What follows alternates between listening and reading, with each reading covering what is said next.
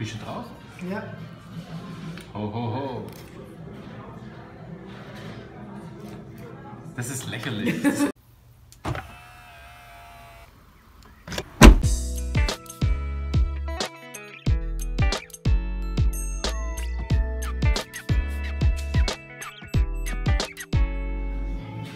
So, ich zeige euch kurz den aktuellen Stand der App.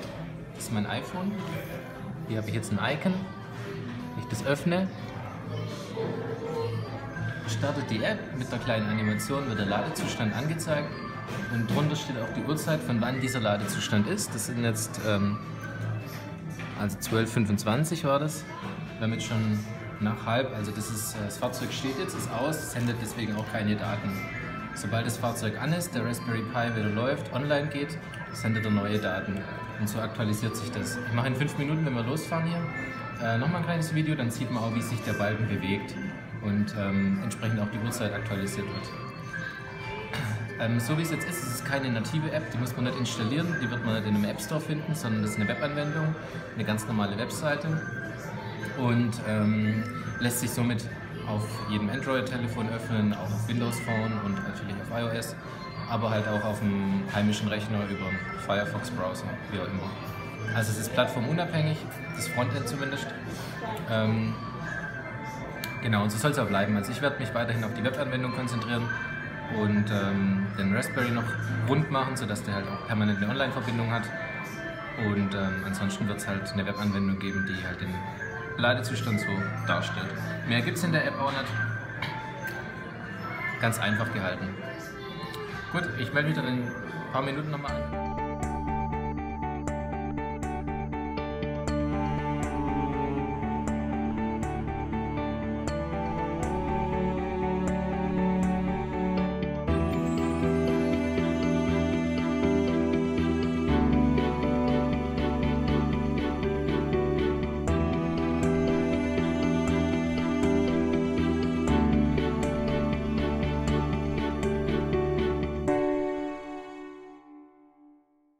So, wir sind angekommen zu Hause.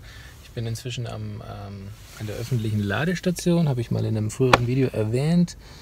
Ähm, gleich bei uns in der Nähe, äh, zu Fuß vielleicht 300 Meter. Zwar nur Schuko-Dose, aber es ist okay, wenn das am Nachmittag äh, da lädt.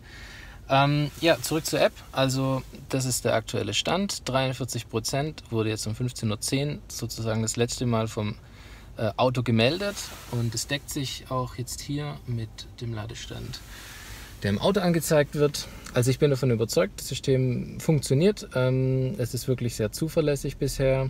Ich habe inzwischen auch von netzclub.de eine SIM-Karte bestellt. Hier gibt es ein bisschen ähm, gratis Datenvolumen. Danke für die Hinweise in den Kommentaren. Ähm, ich teste es einfach mal aus bin ein bisschen skeptisch, weil es das O2-Netz nutzt und ähm, ich damals auch bei meinem Handy ähm, halt O2 ausgeschlossen habe, weil die Netzabdeckung halt aus meiner Sicht nicht ähm, die beste ist, hier zumindest bei uns hier auf dem Land.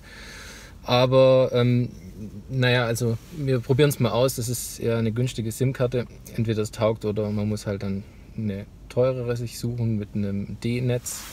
Ähm, was kann ich noch sagen? Ja, also zu der Problematik ähm, des Stro der Stromversorgung mit dem Raspberry ist es halt so, dass ähm, ich das schon mit einer Powerbank lösen wollte. Ich habe noch eine Powerbank zu Hause, die hat irgendwie ja, nur sechs, sieben Stunden gehalten. Das kann eigentlich gar nicht sein, aber es war so, vielleicht ist ja auch defekt. Ich werde das ein bisschen weiter verfolgen und für mich so einsetzen ähm, noch ein bisschen weiterentwickeln, das Frontend noch ein bisschen aufbauen und ähm, ja, dann wie gesagt, ich vermute mal so zwischen Weihnachten und Neujahr werde ich ein kleines Tutorial schreiben, eine Schritt äh, für Schritt Anweisung, werde auch den Code offenlegen, dann auf einem kleinen Blogpost. Und ähm, wer möchte, kann sich das natürlich dann nachbauen. Ich werde dann auch die Links zu sämtlicher Hardware drunter posten und ähm, so dass sich jeder das Ganze halt ähm, ja, bestellen kann und nachbauen kann, wer möchte. Ja, Soweit von mir. Vielen Dank für die Unterstützung und den Support, die Kommentare, die Likes und die Abonnements. Macht weiter so, dann machen wir auch weiter und ähm, ja, gute Fahrt. Ciao, ciao, bis bald.